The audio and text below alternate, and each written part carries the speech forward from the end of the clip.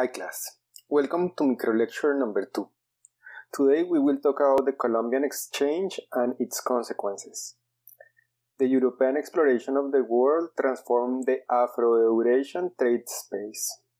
After the sailors from the Iberian Peninsula circumnavigated Africa and crossed the Atlantic, the balance of power in the world changed. It was the beginning of a genuinely global economy where different peoples, cultures, and societies interact and commerce with each other. The consolidation of the global economy was not a peaceful process.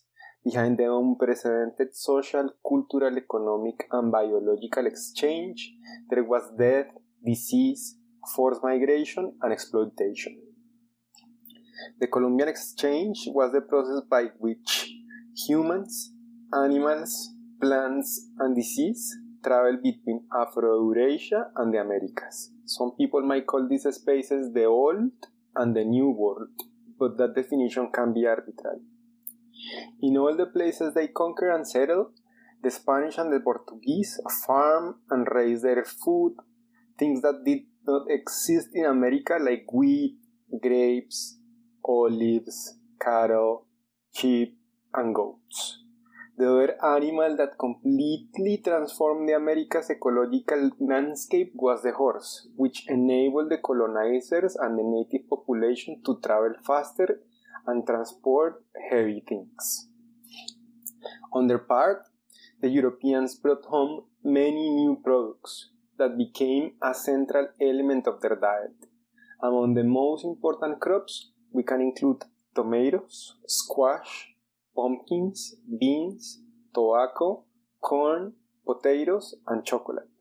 All this food spread in Afro-Eurasia quickly, becoming part of everyday diets from China to Western Europe. One could argue that the exchange of foods was a great benefit for cultures all across the planet, but we cannot say the same about the European pathogens. Diseases like smallpox, measles, influenza, and others killed millions of Native Americans and facilitated the European conquest and subsequent colonization. The demographic impact of these processes has been well documented. Robert Marks shows that from 1518 to the 1600s, 17 major epidemics were recorded in the Americas. An excellent example of this devastation is the Central Valley in Mexico once the home of a civilization that had more than 25 million people, in just over 50 years, the valley had only 2.7 million natives. The combination of colonization disease can be considered the greatest genocide in human history. Whether or not European introduced disease ravaged the Indians of the American Northeast, the Upper Mississippi, or the Northwest before the 1600s is open for scholarly debate but after permanent European settlements were established in North America, disease afflicted those natives too. In short, in the century after European contact with the New World, vast regions were depopulated, losing 90% of their B1500 numbers, even if we don't know with certainty what the pre-contact population of the Americas was.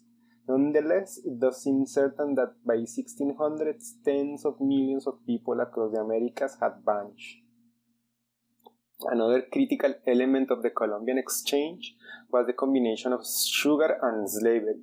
The Spaniards and the Portuguese were not inclined to do manual labor, and since the beginning wanted the indigenous populations to do all the work. However, the Catholic Church prevented them from enslaving the natives, which is why they decided to enslave people in Africa. During the 16th and the 17th centuries, enslaved Africans were brought to the Americas to work in sugar plantations. Sugarcane was native to the South Pacific. With the population increase of the 15th century, sugar became more popular and people wanted to consume it more. The sugar plantations established across the Americas needed a lot of work to make a profit, which is why plantation owners decide to use forced labor from Africa. The last important element of the Columbian exchange was mining. Spain became the wealthiest civilization on the planet after discovering gold and silver in the Americas. Mining became the most important industry in the colonies. The Spaniards discovered extraordinary sources of silver in Potosí, in present day Bolivia, and Zacatecas, in present day Mexico. Between 1503 and 1650, 35 million pounds of silver and 600,000 pounds of gold entered the world economy thanks to the Spaniards' exploitation of American resources. The Spanish crown used these resources to consolidate its empire and pay the army that defended. The more important market for America's silver was China. It was around silver that a global economy which included the territories around the Pacific, the Atlantic, and the Indian Ocean was formed. This is all we have for this micro lecture. If you have any questions, please let us know. Thank you, and I'll see you next time.